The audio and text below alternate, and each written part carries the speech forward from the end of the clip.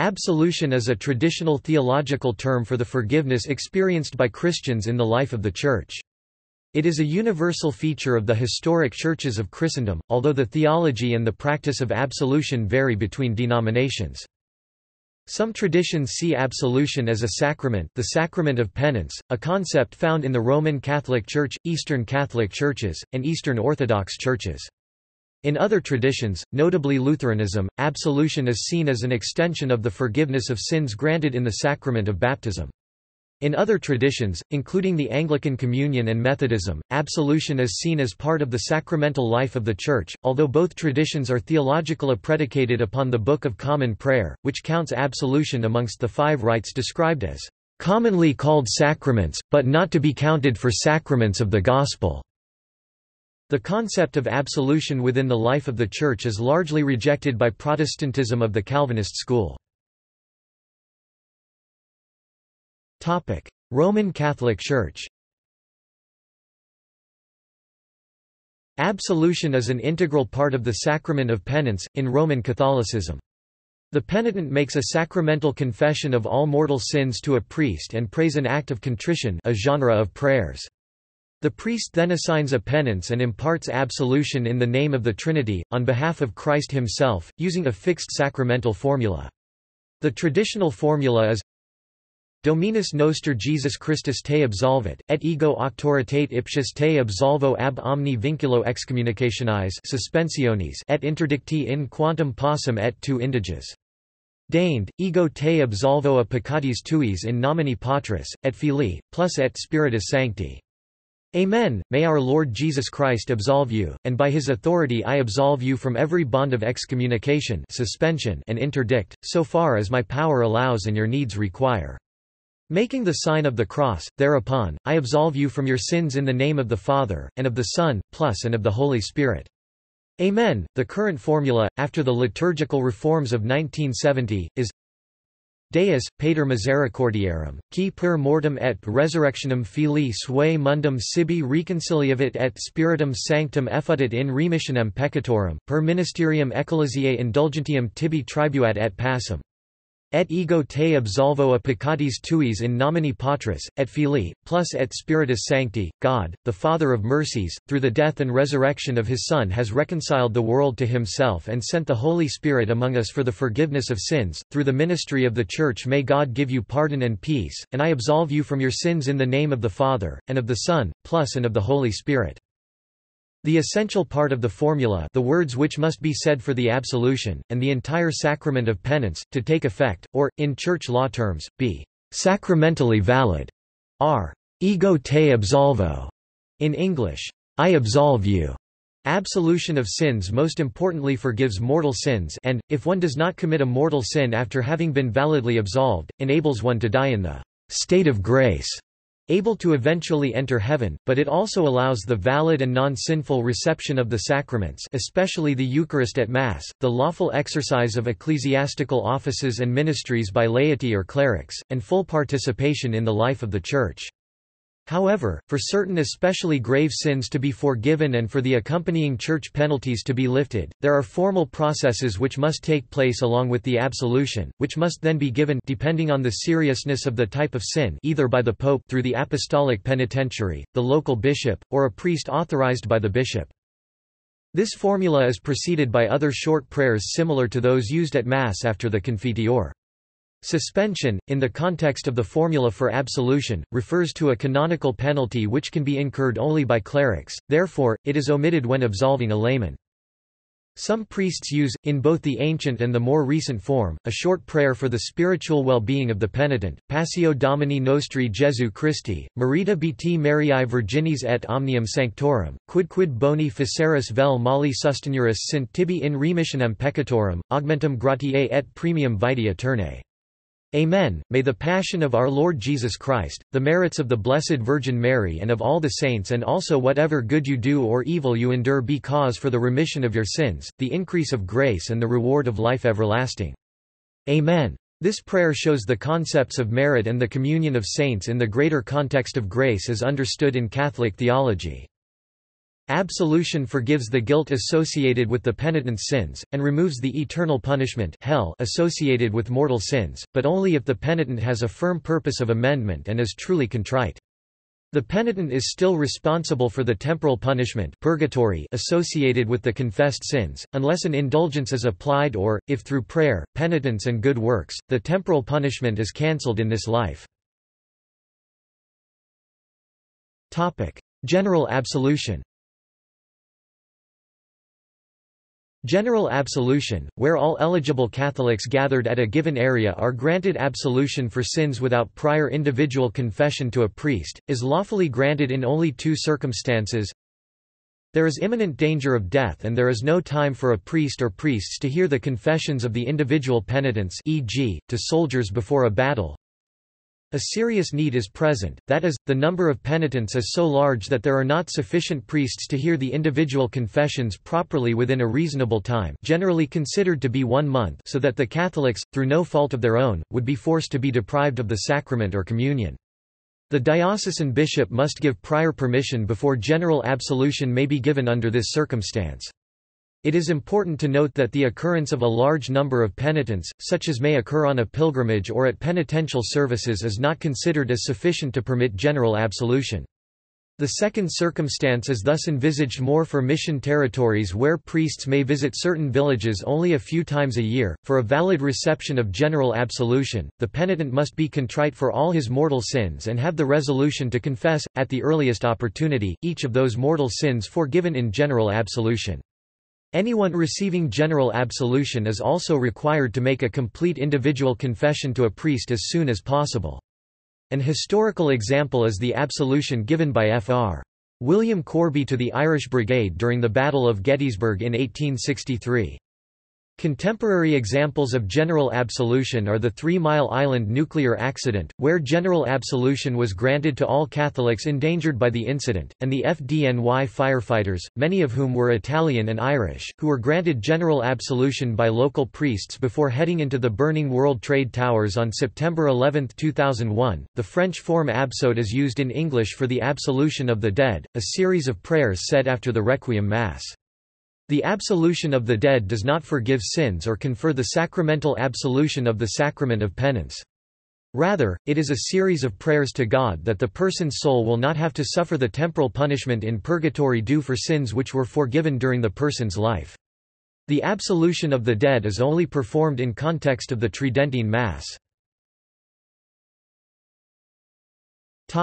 Eastern Orthodox churches Eastern Orthodoxy is made up of a loose confederacy of Christian churches in the Eastern tradition and the Eastern region, sharing the same or similar doctrine and practice. As a professed Christian congregation, Eastern Orthodoxy is the second largest Christian church in the world, with an estimated 225 to 300 million adherents, primarily in Eastern and Southeastern Europe and the Middle East. It claims and teaches that it is the one, holy, Catholic and Apostolic Church established by Jesus Christ in his Great Commission to the disciples almost 2,000 years ago. The main branches of Eastern Orthodoxy are considered by many to be the Greek Orthodox and the Russian Orthodox. And both have similar views on repentance and absolution. Greek Orthodoxy The Greek Orthodox Church has always believed that the Church has power to forgive sin. This is made clear by the formulae of absolution in vogue among all branches within Eastern Orthodoxy, also from the decrees of synods which since the Reformation have again and again expressed this belief, Alzog on Cyril Lucaris III, 465, Synod of Constantinople, 1638, Synod of Jassy, 1642, Synod of Jerusalem, 1672. In the Synod of Jerusalem the Church reiterates its belief in seven sacraments, among them penance, which Christ is believed to have established when he said, "'Whose sins you shall forgive they are forgiven them, and whose sins you shall retain they are retained." The formulae of absolution are generally deprecatory, and if now and then the indicative form appears, it may be traced to Latin sources. Russian Orthodoxy The belief of the Greek Church is naturally also that of the Russian in this regard. Russian Orthodox theologians all hold that the Church possesses the power to forgive sins, where there is true repentance and sincere confession. The form in use at present is as follows. My child, NN, may our Lord and God Christ Jesus by the mercy of his love absolve thee from thy sins, and I, his unworthy priest, in virtue of the authority committed to me, absolve thee and declare thee absolved of thy sins in the name of the Father, and of the Son, and of the Holy Ghost. Amen.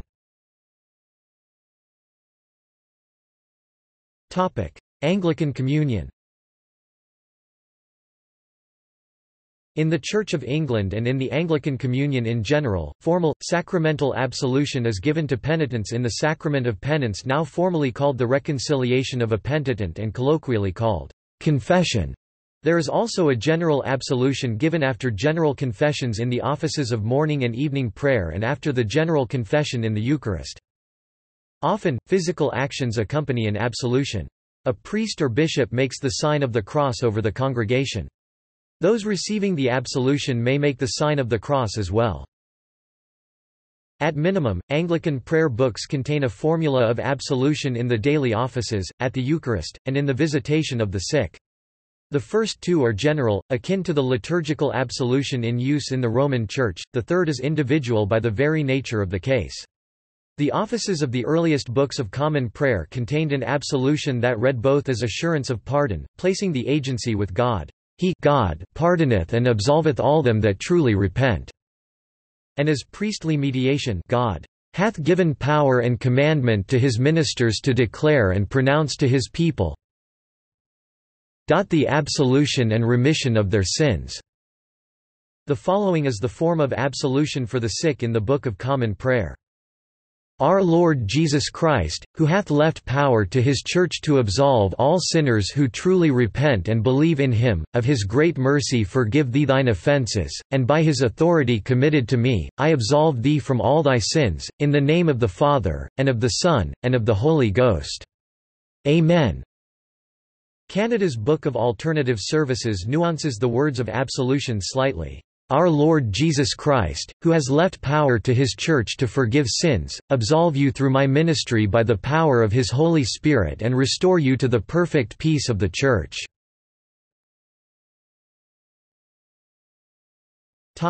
Methodist Church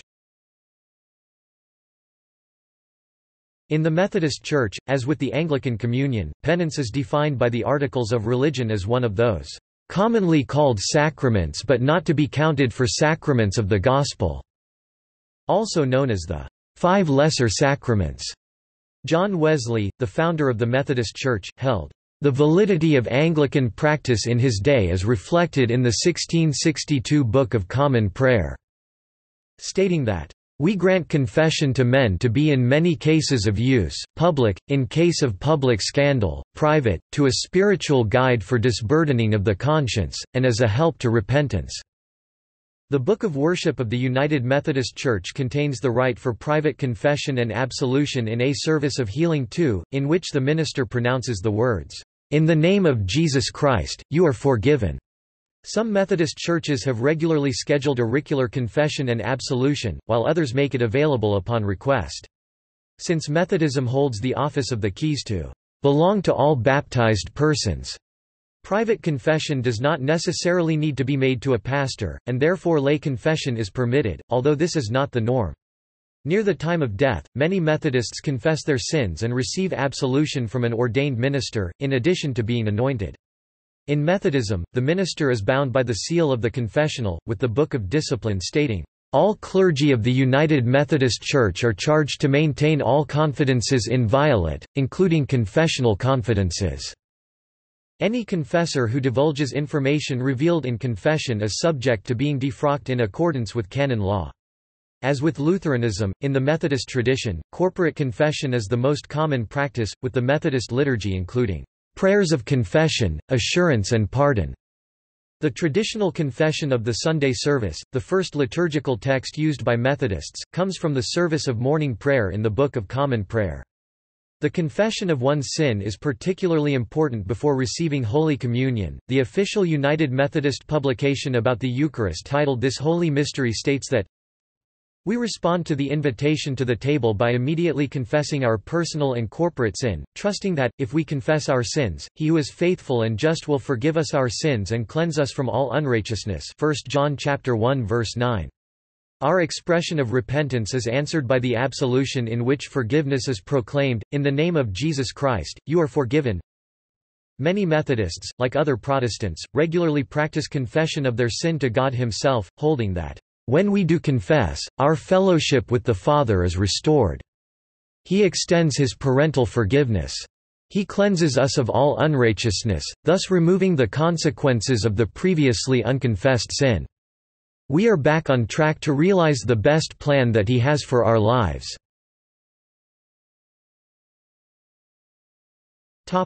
Oriental Orthodox churches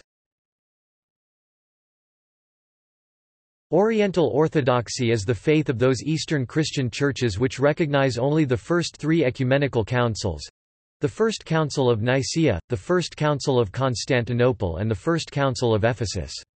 They rejected the dogmatic definitions of the Council of Chalcedon held in AD 451 in Chalcedon.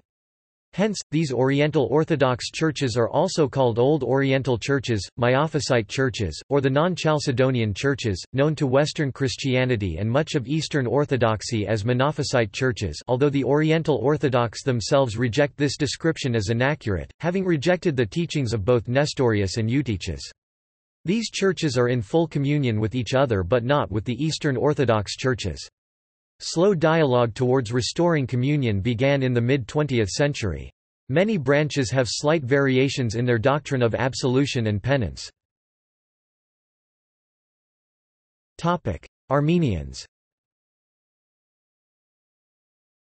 Denzinger, in his Ritus Orientalium 1863, gives us a full translation of the penitential ritual used by the Armenians. The present version is from the 9th century.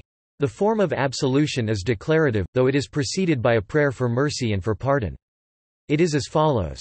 May the merciful Lord have pity on thee and forgive thee thy faults, in virtue of my priestly power, by the authority and command of God expressed in these words, Whatsoever you shall bind on earth shall be bound in heaven, I absolve thee from thy sins, I absolve thee from thy thoughts, from thy words, from thy deeds, in the name of the Father, and of the Son, and of the Holy Ghost, and I restore thee to the sacrament of the Holy Church.